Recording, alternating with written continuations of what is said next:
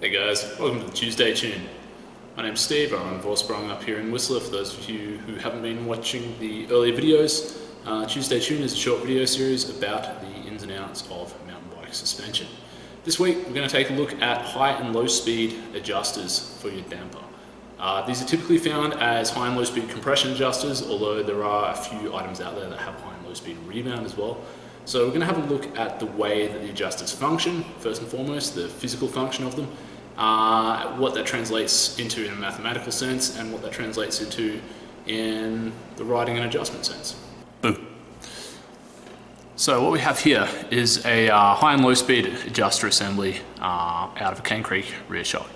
So this separates into the low speed adjuster assembly, which is, if you can see that, oil flowing in through this tiny little hole in the end. There's a little needle inside that you probably not quite make out through those side holes.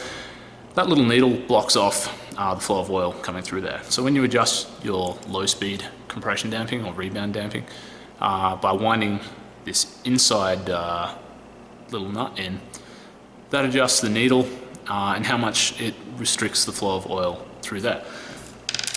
On top of that, we have this poppet assembly here.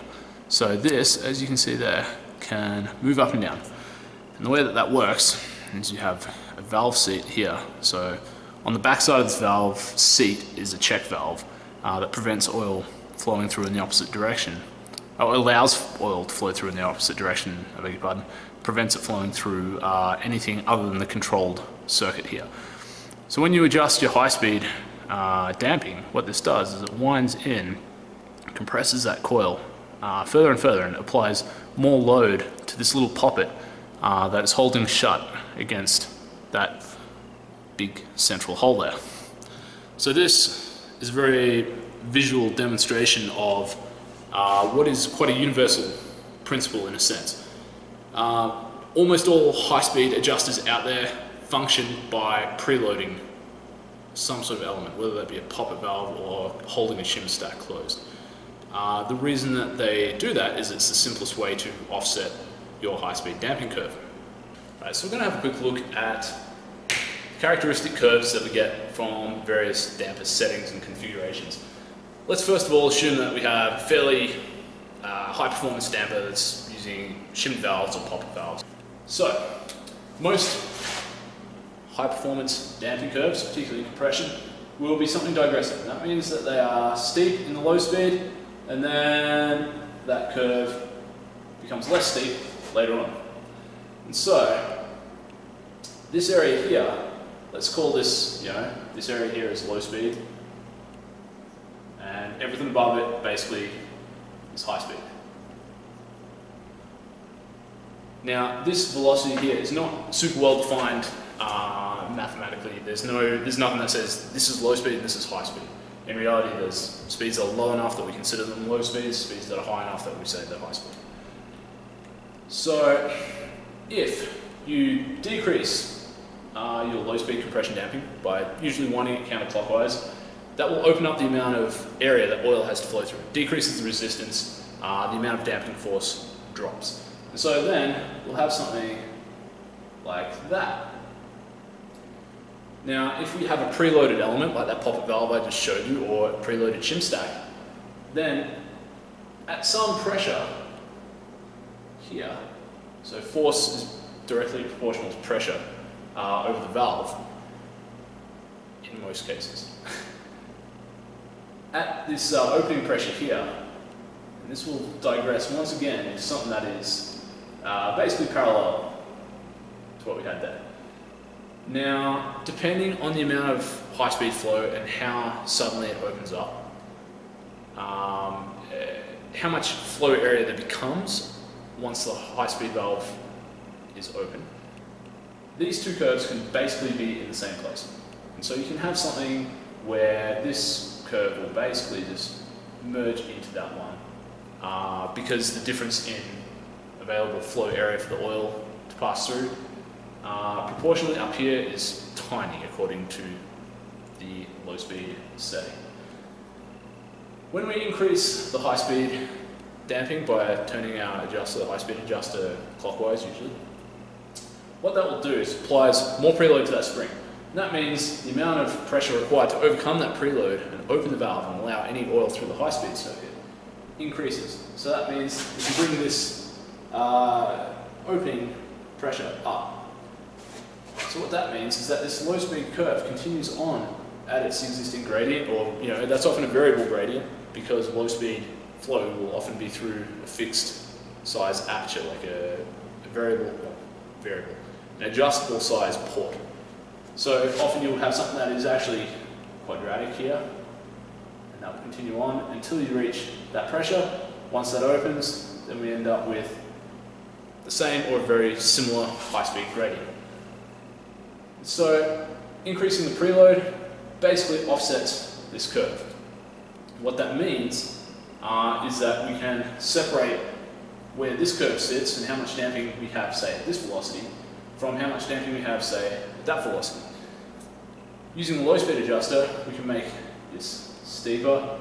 Again, it'll get to that uh, threshold there, that force, and then open up. Uh, or, you know, however far up. If you close it right off, then basically there's no flow through the low speed circuit. Everything has to go through a circuit that is held shut by a certain amount of preload. Then nothing happens until you reach this force.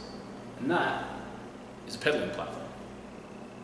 So then you only have flow through the high speed circuit depending on, again, the proportion of your low speed flow area to your high speed flow area and how much uh, additional flow area is opened up when the high speed circuit opens, uh, that gradient, the gradient of the high speed elements of the curve may or may not be affected substantially by the low speed adjustment.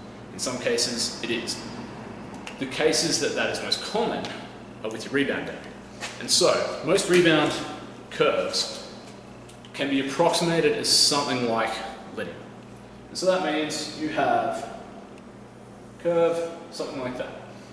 Now when you adjust rebound adjuster on most shocks, if you have say a Fox uh, float or you know an RC4 or something along those lines, anything that only has a single rebound adjuster. When you adjust the rebound, there's usually not a preloaded element uh, in there in the case of coil shocks like that. Sometimes there is, but not usually. Um, what will happen is that it'll affect the whole curve. So you'll end up with something like that. Now, although it is built in the same way as a low speed adjuster, because the total flow area for oil to pass through is substantially affected there, it's substantially reduced at all speeds, um, because we haven't had a, a circuit suddenly open up and allow you know, a much, much larger area. Uh, then we have effectively something like a linear adjuster. So then we get a fairly linear curve at all speeds up until you know, the flow becomes limited by the size of the ports. Um, and then your adjuster is effective over the whole range. So when we talk about a rebound adjuster and uh, a rear shock, quite commonly being, or you know, most forks really, uh, being a low speed adjuster, it is a low speed adjuster in that it affects the low speed, but the way that they're configured is such that it affects all speeds to some degree. So what's the real world effect of this and when should we be using the low and the high speed adjuster? So the concept of low and high speed is all about how fast the suspension is moving, not how fast your bike is traveling. So things at a low speed typically you know, bodily movements, pushing down on the fork or the shock, uh, pumping through berms and rollers and that sort of thing. Anything that moves faster than your body can respond to entirely on its own uh, will typically be high speed. Landing jumps, uh, hitting bumps at you know any sizable any sizable bump at speed, uh, things like that. So all of those sort of events will be mostly in the high speed area. And the interesting thing to note is that in order for your wheel or your suspension to go from zero velocity, you know, you're coasting on smooth ground, to a higher speed, it has to first pass through the low speeds. It can't just instantly jump from you know zero velocity to two meters a second. It can't happen. So everything passes through the low speed on its way to the high speed area, and then back. That is unchanging. Now, what that does mean is that while your high speed doesn't affect everything, your low speed does in some way have an effect on your high-speed movements. Insofar as every motion of your wheel, vertical motion of your wheel, has to accelerate through the low speed region before it reaches the high speeds. So if we go to extremes, and I'm, I'm going to step back there and say, your low speed damping is not always a substantial enough fraction uh, or a substantial enough difference from your high speed damping that your low speed adjuster will make a noticeable difference on really sizable hits or you know anything that's moving really fast. It will be so, the shock will be such that you can't really tell the difference. But if we go to the point where we shut the low speed off entirely and have the high speed uh, circuit clamped closed with a certain amount of preload, it takes a certain amount of force. You need to build up a certain amount of force at the wheel, acting on the suspension before the suspension begins to react at all. And so in order to build up that force, then you have a bump uh, or you know whatever hit the wheel is taking, pushing through the tyre a certain distance in order to build up that force building up uh, that force through the flex of your wheel and everything in the system. And only once the force on the damper reaches that point does it open and your suspension move at all. As you can imagine, that creates a lag. And that's why excessive low speed damping uh, can feel quite harsh. And so that is one of the arguments against pedal platforms or anything along those lines, um, particularly in terms of descending performance. And that's why we have shocks and forks with different modes so that you can flip from something that has a platform, you know, requires a certain amount of force to move it all, uh, to something that opens up much more freely and can respond a lot quicker. So that is essentially how your low speed can affect your high speed. Now let's talk about how your high speed damping can affect your low speed damping. So as I mentioned before, how much preload is applied to the high speed adjuster affects what force the high-speed circuit opens at.